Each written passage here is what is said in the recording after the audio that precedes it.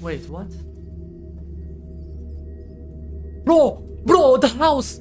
Guys, guys, the house is shaking, guys! Guys, no, the house is shaking. Yeah, there's an earthquake, yes. What the f Premier séisme de ma vie, alhamdulillah. Allahu Akbar. Allah deprem oluyor. Deprem oluyor.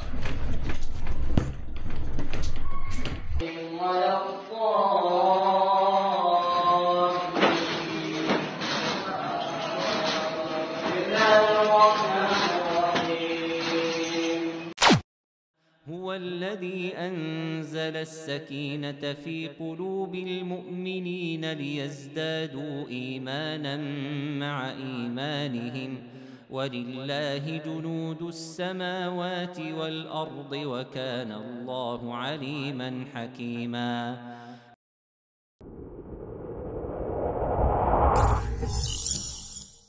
Pendant que se déroulait le séisme dévastateur qui a touché le Maroc il y a de cela deux semaines, c'est le chaos et la terreur qui ont frappé les Marocains.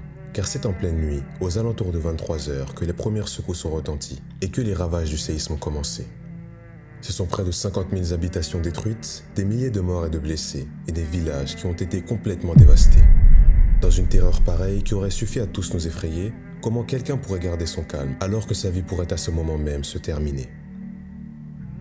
Allah dit dans le Coran يثبت الله الذين آمنوا بالقول الثابت في الحياة الدنيا وفي الآخرة ويضل الله الظالمين ويفعل الله ما يشاء Dans la vidéo de cet imam dont le calme a surpris le monde entier, on entend dire deux paroles qu'on doit préserver dans nos vies et sans cesse répéter. La ilaha illallah. Premier séisme de ma vie, alhamdulillah. Allahu Akbar. Alhamdulillah. Alhamdulillah. Allahu Akbar. Je sais pas si vous voyez le, la terre trembler. Et dans la sourate At-Tawbah, Allah nous dit également قل لن يصيبنا إلا ما كتب الله لنا هو مولانا وعلى الله فليتوكل المؤمنون Il fait partie de la vraie foi du musulman de croire et de se conformer au destin, qu'il soit bon ou mauvais. Peu importe les efforts que l'on fera pour éviter à une chose de nous atteindre, elle finira par nous toucher si Allah l'a décidé. Et c'est peut-être sur le chemin même qu'on aura utilisé pour l'éviter que notre destin finira par nous rattraper. Durant ce séisme, chacun vaquait à ses occupations. Certains étaient tranquillement dans la rue et ont été surpris par l'agitation, d'autres étaient dans des bars, en soirée, en train de s'amuser ou de commettre un quelconque péché. Et à ce moment même, leur vie aurait pu se terminer. D'autres faisaient des bonnes actions et encore d'autres qui pendant le séisme dormaient et ne se réveilleront plus jamais. Ne basons pas notre vie sur des actions sur lesquelles on sera ressuscité le jour de la résurrection et qui causeront à coup sûr notre perdition.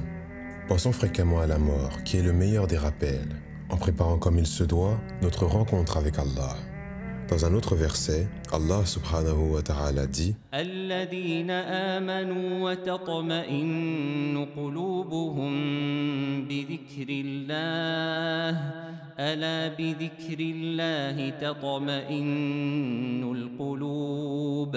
Pendant notre vie, il est certain que nous serons touchés, secoués et même surpris par des difficultés et des calamités. Mais grâce au rappel d'Allah, la difficulté du croyant ne sera que de courte durée. Et dans un verset, Allah subhanahu wa ta'ala nous décrit le vrai croyant qui réussit dans l'après-vie et parvient à surmonter les pires moments. ليس البر أن تولوا وجوهكم قبل المشرق والمغرب ولكن البر من آمن بالله واليوم الآخر ولكن البر من آمن بالله واليوم الآخر والملائكة والكتاب والنبيين وآتى المال على حبه ذوي القربى واليتامى والمساكين والمساكين وابن السبيل